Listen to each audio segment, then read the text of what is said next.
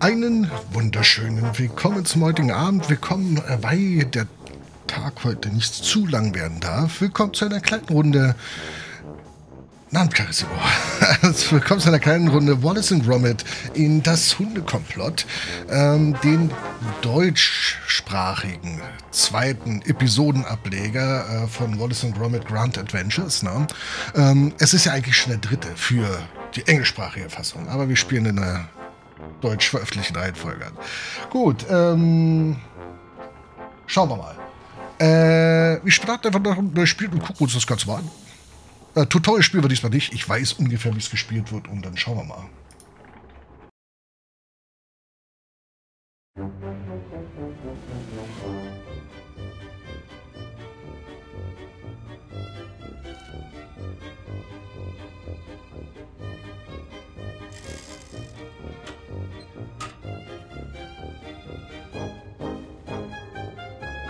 Oh oh.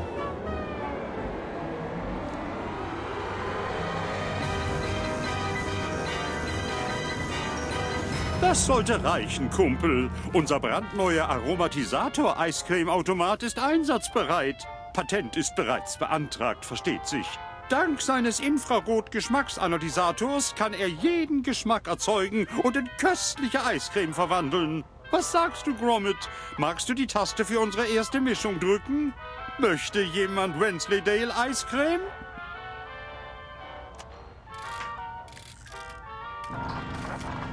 Schau, wie es läuft, Kumpel. Genau rechtzeitig zum Feldtest vor zahlendem Publikum bei der Kirmes dieses Wochenende. Und alles für einen guten Zweck. Fräulein Flitter sagt, das Geld soll dem Wiederaufbau der Hundepension dienen. Die armen Hündchen waren zu lange heimatlos. Stell dir vor, du hättest keinen Ort, den du deine eigene Hütte nennen kannst, Gromit. Hm, muss am Wind liegen. Fräulein Flitter sagt, die Streuner hätten überall in der Stadt Unfug getrieben. Am Dienstag wurde Frau Gabberleys Laden von einer Bande Terrier terrorisiert. Zweifellos werden sie alle zur Vernunft kommen, wenn sie ein anständiges Dach überm Kopf haben. Die Leute werden sicher auf der Kirmes großzügig für ihr neues Heim spenden. Bestimmt bin ich nicht der einzige Hundefreund in der Stadt. Heiliger Strohsack, Oh. Wilde Hunde, streunende Schurken, räudige, nichtsnutzige Köter zerlegen meine Maschine. Das müssen die Entlaufenen sein. Oh nein! Meine Kurbel! Mein Hebel! Der Geschmacksgravierer! Das Gehirn unseres Geschmacksscanners, Kumpel! Er ist ruiniert! Die vierbeinigen Freunde! Äh, tut mir leid, Kumpel, aber das ist ein ernsthafter Schaden. Ich glaube, das ist nichts, was man nicht reparieren könnte. Ich bastle mal am Geschmacksgravierer herum, während du unsere geklaute Kurbel und den gemopsten Hebel findest. Und dieses Schnuckelchen muss auch noch beruhigt werden. Ich sage dir, das wieder hinzukriegen, wird einen Monat Eiswaffeln kosten, wenn ich es nicht sofort flicken kann. Du musst sie dir schnappen, wenn wir den Aromatisator auf der Kirmes am Wochenende einsetzen wollen. Komm schon, mein Junge, du bist schließlich ein Hund, du kannst doch mit ihnen reden. Ähm, Die ganze harte Arbeit durch ein paar streunende Windhunde zerstört. oh, da hinten sind Puzzle. 1000 Teile, 250 Teile und 500 Teile. Äh, oh, da ist ein Kanickel. Nehme ich mit. Du, du, du, du. Oh, ist süß.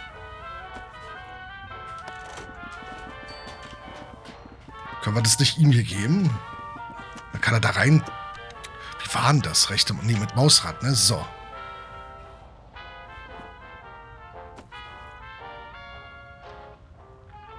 Dein Oh. altes Spielzeug hat wirklich geholfen, nicht wahr, mein Junge? Ach, du hast so daran gehangen. War richtig schwierig, es dir abzugewöhnen. Jetzt können wir uns darauf konzentrieren, die Maschine zum Laufen zu bringen. Oh, das war ja süß. Oh je, Gromit, diese Maschine gehört noch nicht zur Crème de la Crème meiner Erfindungen.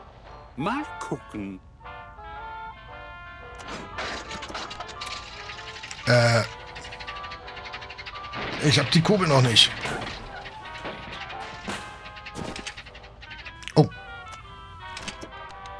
Leider noch ein bisschen durcheinander, mein Junge.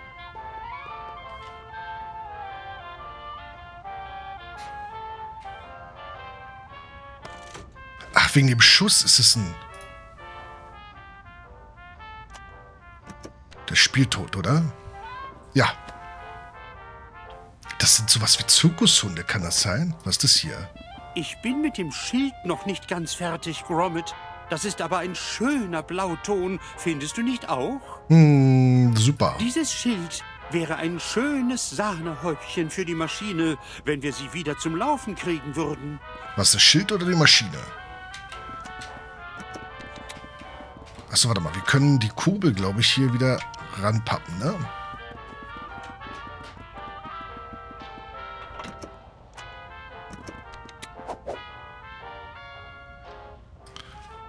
Oh.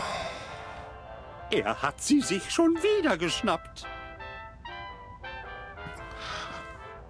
Okay, ich hab's geschnallt.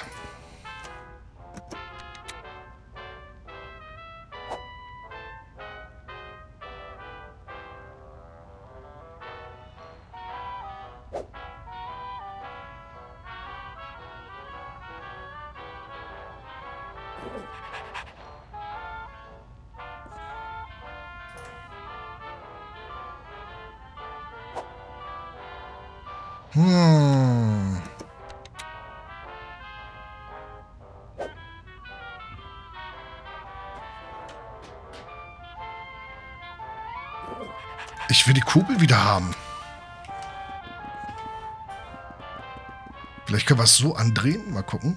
Vorsicht, Gromit. Der Motor des Aromatisators ist ohne Kurbel instabil. Ist egal.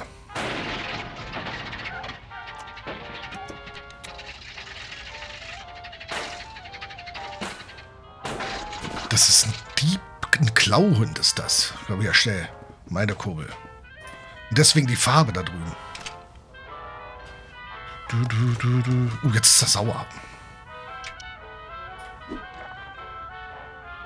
So.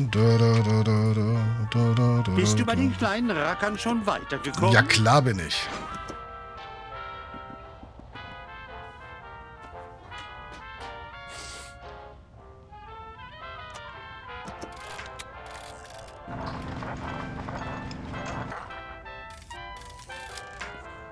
Okay. Was müssen wir jetzt noch tun? Wir konnten nicht mal unsere erste Mischung probieren. Oh je.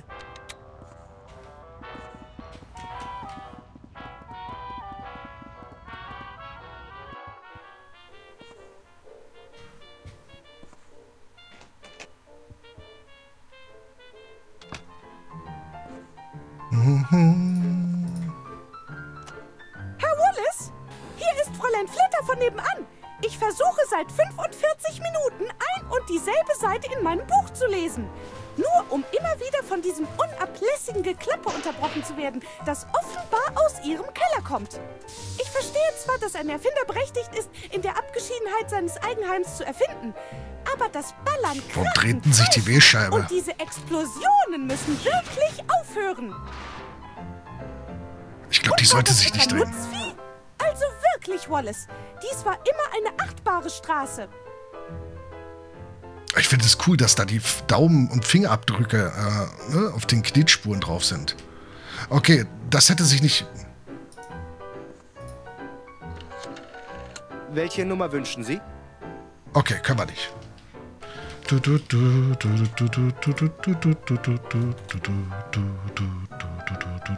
Was?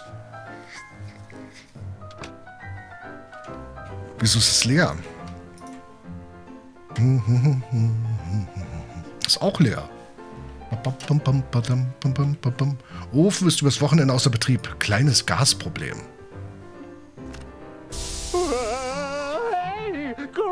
Gromit, immer sachte. Du kannst alle Pasteten backen, die du willst, wenn erstmal die Gasleitung repariert ist. Du, du, du, du, du, du. Kartoffelpastete, Nierenpastete, Erdbeer-Rhabarber, Apfel-Knusperpastete. Okay. Okay, wir müssen irgendwas kochen.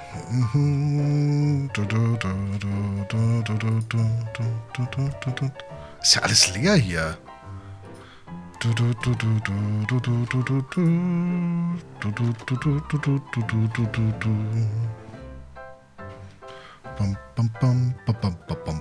bum.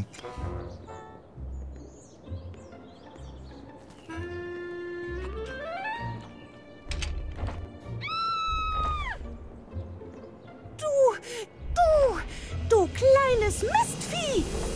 Oh, ah! Oh, Du hast also die Hunde rausgelassen. was? Dieser räudige Windhund verwüstet meine, meine Rosen. Er kam mit so einer Art Knochen aus dem Haus deines Herrchens gerannt. So, so, dann füttert uns jetzt also die Streuner an. Das schlägt doch dem fast den Boden aus. Apropos Boden, wer weiß, was dieser Hund den Wurzeln antut? Wo ist Wallace überhaupt, wenn man ihn braucht? Gibt es denn keine Kavaliere mehr auf dieser Welt, die das Eigentum einer Frau schützen können? Jetzt steh doch nicht einfach so da. Unternimm was. Du, Du, bist und- doch schließlich ein Hund. du, und- Rede doch wenigstens einmal mit ihm. Du erzählst zu viel. Gott sei Dank hat mir dieser Halunke nicht auch noch die Tulpen zerrupft. Das hätte ich nicht überstanden. Ich wollte dieser hier gerade ein kleines Zuhause graben, als dein kleiner Freund in meinen Garten gerannt kam. So ist dieser Wühlmausverschnitt in den Boden gekommen. Sieh dir meine Petunien an. Pulverisiert. Okay, ich kann aber nichts tun gerade. Oh. Morgen, Gefreiter. Rühren, Gefreiter, rühren. Sicher hast du schon von den erbaulichen Einsätzen dieses Wochenende gehört. Nein. Das hört sich nach den guten alten Zeiten an. So wie damals, als die Ensa mit ihren Darbietungen die Moral der Truppe stärkte. Das hat sie daran erinnert, wofür sie kämpfte. Ich erinnere mich noch daran, wie ich in Algerien stationiert war und man für uns einen kompletten Programmtag organisierte. Okay. Wirklich unglaublich. Da war zum Beispiel Fatima, die Schlangenbeschwörerin, das allseits beliebte Affenweitwerfen und sogar äh, ein Couscous-Wettessen. Apropos, du wirst doch auf der Kirmes zusehen, wenn ich mich in die Essensschlacht stürze, oder? nee. Ich rede vom Pastetenwettessen, Gefreiter. Du hast doch sicher in der Stadt den Anmeldebogen gesehen. Nein. Aber den alten Major kriegt keiner klein. Man nennt mich nicht umsonst Kampfesser Crumb. Krieg ich die Kekse? Das sind meine Kekse, Gefreiter. Und noch dazu sehr lecker. Die kann ich nicht mit dir teilen. Zur optimalen Nahrungsverwertung müssen sich die Soldaten heutzutage streng an ihre Rationen halten. Also leider keine Extrawürstchen für dich. Oh, schade. Was für ein Aroma. Lecker Kekse. Ähm, ja, okay. Panier geht vor die Hunde. 10% des Erlöses. Was ist er denn hier? Hallo Gromit, mein Freund. Wie geht's an Wallace? Schon von der Kirmes gehört? Ich war noch nie auf einem richtigen Stadtfest. Das ist schön. Ähm.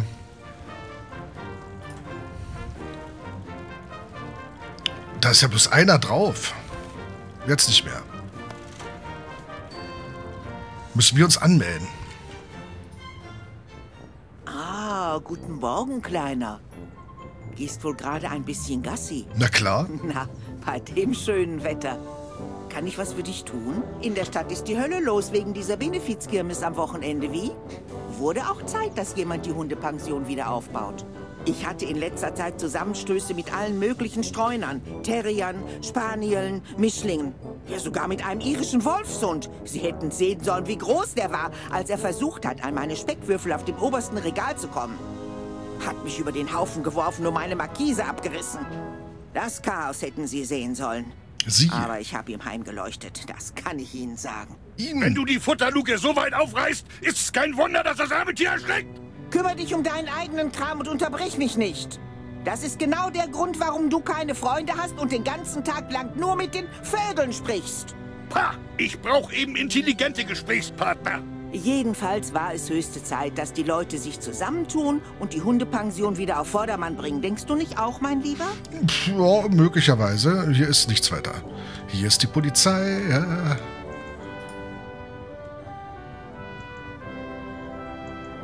Okay, sieht alles gut aus. Oh, oh, die sind noch im Knast. Die sind noch im Knast. Yeah, die sind im Knast. Super. Was ist das hier? Benefizkirmes. Helft den Hunden nur dieses Wochenende. An keinem anderen Wochenende wird ihnen geholfen. Kann man da hinten langlaufen? Nee, kann man nicht. Ich freue mich auf die Kirmes am Wochenende. Das wird ein schönes Getümmel. Und dazu noch für einen guten Zweck. Das ist schön. Okay. Haben wir noch irgendwas Hübsches hier? Da hinten kommen wir nicht lang. Ab in die Wallaby Street. Bis später, Gefreiter. Bis später. Mr. Major.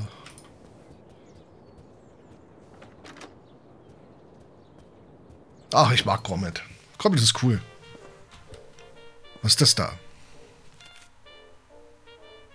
Hunde heute. 50 Arten der Terrierzähmung. Sechs hungrige Hunde buddeln gern. Schluss mit der Unart durch appetitliche Anreize. Oh, appetitliche Anreize. Was haben wir denn noch Hübsches? Was ist das hier? Oh, da kommen wir nicht hoch.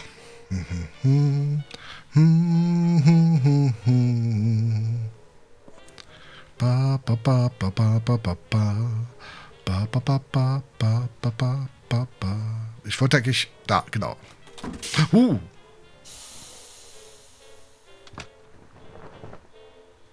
Hm.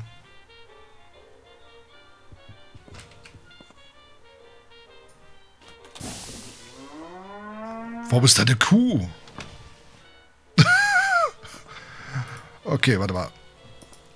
Ja, und das Anmeldeformular. Ich halte dem das mal hin. Vielleicht dürfen wir uns raufschreiben. Warte mal. Du, du, du, du, du, du, du, du. Du, du, du. Hallo, Gefreiter. Ei, ei.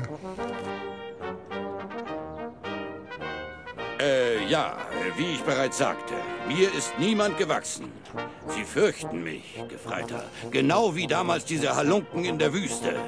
Warte erst mal ab, wenn Sie mich vor einem Berg von Pasteten sehen. Oh ja. Die werden vor Ehrfurcht zittern. Will ich sich erstmal äh, ne, verteidigen. Das war's.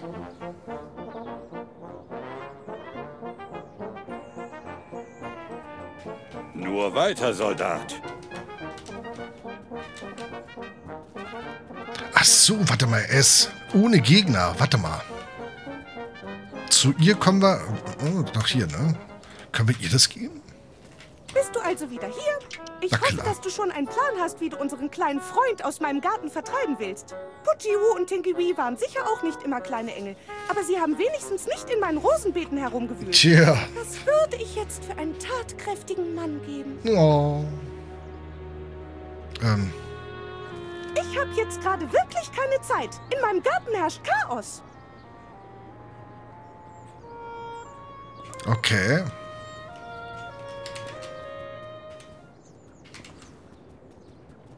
Hallo, Gefreiter. Ja, hi, hi, hi. Der hat geschlafen. Vielleicht er? Hallo Gromit, mein Freund. Wie geht's an Wallace? Was? Ein Pasteten-Wettessen? Hm, ich weiß nicht. Ich versuche in letzter Zeit, mich in Form zu halten. Ich werde die Pasteten wohl besser sein lassen. Trotzdem danke, Gromit. Okay, wir sind auf der richtigen Spur. Wieder läuft. Hallöchen. Hallöchen. Was hast du denn da, mein Lieber? Ein Pasteten-Wettessen. Wenn das mal kein Leckerbissen ist. Ich? Ach, ich weiß nicht. Ist ja schon hier und da gern etwas Fleischpastete, aber ein Wettschlingen? Nicht gerade damenhaft, oder? Ha, du siehst auch ohne Fleischpastete im Hals nicht gerade damenhaft aus. Autsch. Ach ja? Erzähl das mal dem Briefträger. Ihm schien ich heute Morgen gefallen zu haben. Der Kerl hat doch nur eine Sehstörung. Ach, halt doch den Rand, du alter Miesmacher. Weißt du was, mein Lieber? Ich werde am Wettessen teilnehmen. Ich finde, das ist eine tolle Idee. Und ich werde gewinnen. Ja, eine echte Dame natürlich. Mal sehen. Ach, nur ich und der Major, ja? Ha. Gegen Winnie Gabberley sieht der alt aus. Hier, Gromit. Ich erwarte dich auf meiner Siegesfeier. Da gibt's Pastete auf der Siegesfeier. Hm. Apropos, Ach ja, das Pastetenwettessen.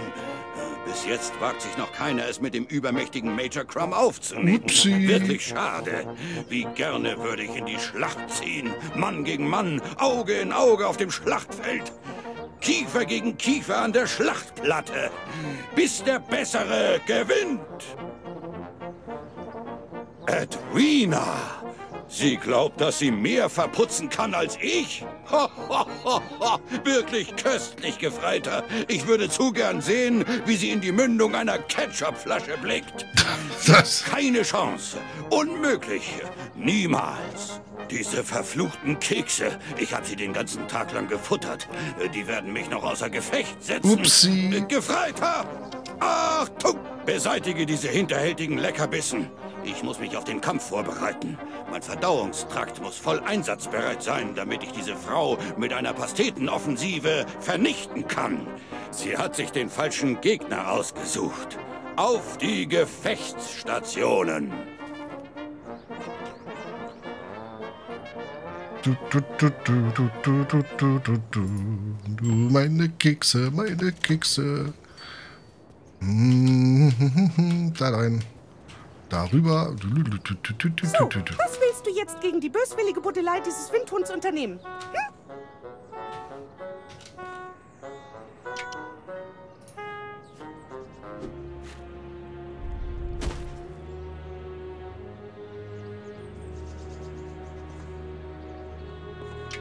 War, glaube ich, nicht richtig.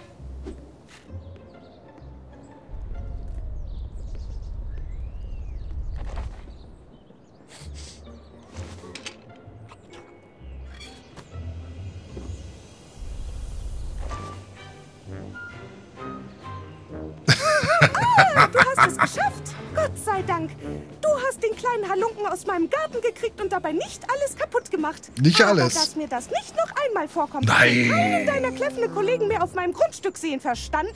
Ja. Guck mal, ist das schön umgegraben. Da wächst bestimmt super was. Warte, können wir auch die Abkürzung nehmen? Bestimmt, ne? Toll, können wir nicht.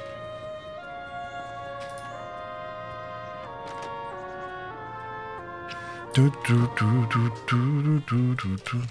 So, du, du, du, du, du, du, du, du, du.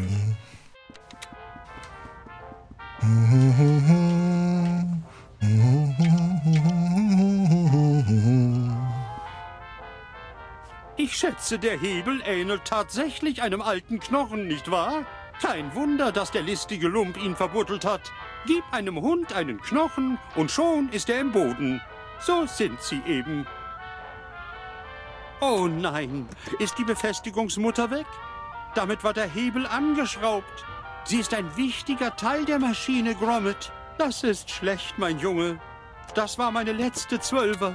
Was Oh. für ein Pech.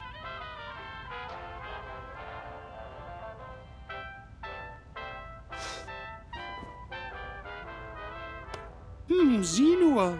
Er hat unsere Mutter gefunden. Fantastisch, Gromit. Äh, vielleicht war ich etwas zu grob zu ihm. Wusste doch nicht, dass der Kleine so gerne bastelt. Ah, er hat nur Angst. Und wie? Er ist ja völlig verstört. Armer kleiner Kerl. Wir sollten ihn Twitch taufen. Twitch? Okay, da bin ich gerade. Abend, Captain Pearl.